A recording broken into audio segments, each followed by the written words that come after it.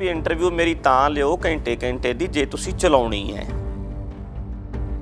6 ਜੂਨ ਦੇ ਤੁਹਾਡੇ ਦੀਵਾਨ ਨੂੰ ਲੈ ਕੇ ਇੱਕ ਵਾਰ ਫਿਰ ਬਹੁਤ ਵੱਡਾ ਜਿਹੜਾ ਕਿ ਇੱਕ ਬਵਾਲ ਕਹਿੰਦੇ ਖੜਾ ਹੋਇਆ ਹੈ ਜਿਹਦੇ ਵਿੱਚ ਕਿ ਤੁਸੀਂ ਅਹ, ਇਹ ਗੱਲ ਕਹੀ ਦੂਰ ਅੰਦੇਸ਼ੀ ਦੀ ਕਿ 84 ਦੇ ਵਿੱਚ ਦੂਰ ਅੰਦੇਸ਼ੀ ਦੇ ਨਾਲ ਕੰਮ ਲੈਣਾ ਚਾਹੀਦਾ ਸੀਗਾ ਕਿ ਇਹ ਸ਼ਬਦ ਤੁਸੀਂ ਕੀ ਸੋਚ ਕੇ ਬੋਲੇ?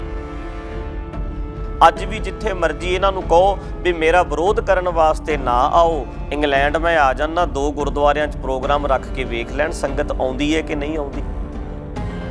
ਤੁਸੀਂ 84 ਤੋਂ ਜੋ ਘਟਨਾ ਹੋਈ ਹੈ ਉਸ ਤੋਂ ਬਾਅਦ ਹੀ ਦੂਰ ਅੰਦੇਸ਼ੀ ਦੀ ਗੱਲ ਕਰਦੇ ਹੋ ਕਿ ਜਾਂ ਸੰਤ ਜਰਨੈਲ ਸਿੰਘ ਹੁਰਾਂ ਨੂੰ ਅਹ, ਕਿਤੇ ਨਾ ਕਿਤੇ ਇਹ ਮੰਨਿਆ ਜਾ ਰਿਹਾ ਕਿ ਭਾਈ ਸਾਹਿਬ ਉਹਨਾਂ ਨੇ ਲਾ ਕੇ ਗੱਲ ਕੀਤੀ ਹੈ?